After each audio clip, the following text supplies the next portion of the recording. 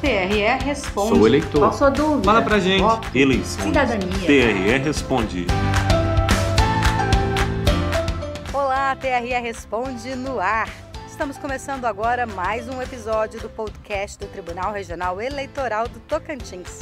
Eu sou Paula Bittencourt e o assunto em debate hoje é sustentabilidade. Alguém aí tem um palpite do que o TRE Tocantins faz para ajudar a preservar o meio ambiente? Fica aí que a gente te conta já já. Pessoal, os problemas ambientais estão afetando cada vez mais a nossa qualidade de vida e a segurança do planeta, não é mesmo? É por isso que é tão importante falar sobre esse assunto e como cada um de nós podemos contribuir para a preservação ambiental. Aqui na Justiça Eleitoral, esse é um tema que está sempre em foco. Bom, mas vamos deixar de lado a conversa e ver o que as pessoas querem saber sobre a sustentabilidade na Justiça Eleitoral do Tocantins. Primeira participação de hoje é da fisioterapeuta Catiele Dourado, de 29 anos. Olá, qual é a sua dúvida? O TRE tem uma política voltada à sustentabilidade? Que tipo de ação é desenvolvida? Catiele, quem vai te explicar direitinho como tudo funciona aqui na Justiça Eleitoral é a coordenadora do Núcleo de Gestão Socioambiental do TRE Tocantins, Wagner Cristiane. É com você, Wagner. Então, Catiele, o TRE do Tocantins possui sim ações voltadas para a sustentabilidade. Temos aqui o Plano de Logística Sustentável, um programa desenvolvido pelo Núcleo de Gestão Socioambiental, criado para esta finalidade. Em dezembro de 2015, o TRE aprovou o seu primeiro plano de logística sustentável e de lá para cá vem inserindo critérios de sustentabilidade gradativamente nas suas rotinas de trabalho. Né? Mas o que é um plano de logística sustentável? Né?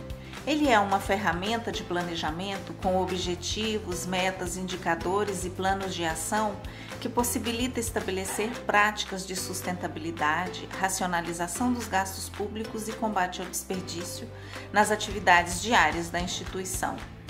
Com a implementação do PLS no TRE, foi possível reduzir o consumo e os gastos com copos descartáveis, água, energia, papel A4, água mineral, impressões e combustível sem afetar a qualidade do serviço prestado, apenas com pequenas mudanças de atitudes na execução das tarefas diárias. O valor estimado da economia até dezembro de 2019 é de aproximadamente 700 mil reais. Muito bem. A próxima pergunta é da atendente de caixa Maria Elivânia, de 32 anos. O que acontece com as urnas que não são mais utilizadas nas eleições? O que nos diz Wagner? Oi, Maria. Boa pergunta. A vida útil de uma urna eletrônica é de 10 anos. Após esse período, elas são descartadas e 98% de seus componentes são reciclados, como plástico, metal, borrachas, cabo, baterias e placas eletrônicas, que são triturados e enviados para reciclagem e transformados em peças automotivas, televisões e até solas de sapatos. É bom lembrar que o lixo eletrônico é responsável em grande parte pela contaminação do solo, dos rios e dos mares. E as urnas eletrônicas possuem substâncias muito tóxicas que contaminam o meio ambiente se descartada de forma inadequada, como é o caso do chumbo, por exemplo. E por isso, a destinação dos resíduos das urnas tem que ser ambientalmente adequada. Aqui no Tocantins, em 2018, foram encaminhadas mais de 15 toneladas de materiais das urnas eletrônicas para reciclagem. A quantidade em todo o Brasil é imensa, aproximadamente uma tonelada e meia, e para que tudo aconteça de maneira correta, uma licitação é feita pelo TSE para contratar a empresa que segue um rigoroso processo de segurança e observância à legislação ambiental. Que bacana! Vamos agora à última pergunta de hoje. Meu nome é Marcelo, sou estudante de engenharia ambiental e estudo na UFT. Eu gostaria de saber se o TRE possui ações específicas voltadas para os resíduos sólidos em sua instalação, que por ser um, um órgão público se trabalha com, com muitos resíduos que podem ser reciclados, né, como papel, como o plástico. Eu queria saber se há alguma uma separação, né, se há reciclagem, se há incentivo para que isso aconteça e se há alguma campanha para que se minimize o, o uso desses materiais no TRE. Essa pergunta é muito interessante, Marcelo. A gestão de resíduos sólidos é um dos eixos temáticos do Plano de Logística Sustentável do Tribunal. Ela é praticada no tribunal desde 2012, mas somente a partir de 2016 é que os resíduos doados passaram a ser pesados e monitorados quando enviados para reciclagem. De lá para cá, o TRE já doou mais de 10 toneladas de resíduos sólidos para associações de catadores de palmas. Para implementar a coleta seletiva, o tribunal disponibiliza caixas para coleta de papel A4 e coletores para resíduos recicláveis e orgânicos.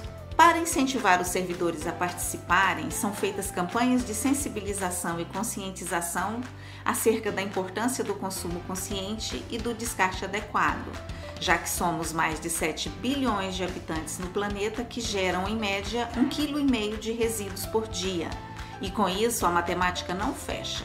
Ah, Marcelo, é importante destacar também que o tribunal permite que o servidor traga os resíduos sólidos de casa, disponibilizando um container para tal finalidade e assim contribuir ainda mais para a preservação do meio ambiente. Obrigada, Wagner, por ter esclarecido as dúvidas dos nossos participantes. E segue o programa com um recadinho do Vitrola do Eleitoral. Você já percebeu que de algumas eleições para cá a gente quase não vê mais as ruas cheias de santinho e materiais de campanha? Pois é, esse é o resultado de um projeto super bacana do TRE Tocantins, Eleições Sem Sujeira, que vem desde 2014 alertando os candidatos e eleitores sobre as consequências do derrame desse tipo de propaganda nas redondezas dos colégios eleitorais. Além de causar transtornos para o meio ambiente, os papéis jogados nas ruas também prejudicam a estética e a harmonia das cidades entopem os bueiros e dificultam a locomoção de idosos e pessoas com deficiência. Situação bem chata, né? Quer ajudar a promover uma eleição sem sujeira? Denuncie a distribuição de propaganda irregular sempre que flagrar qualquer atitude suspeita.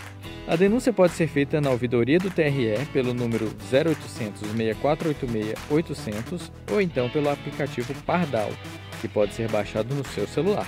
Cá entre nós, Paula, é bom demais ver a cidade permanecendo limpinha durante as eleições, não é mesmo?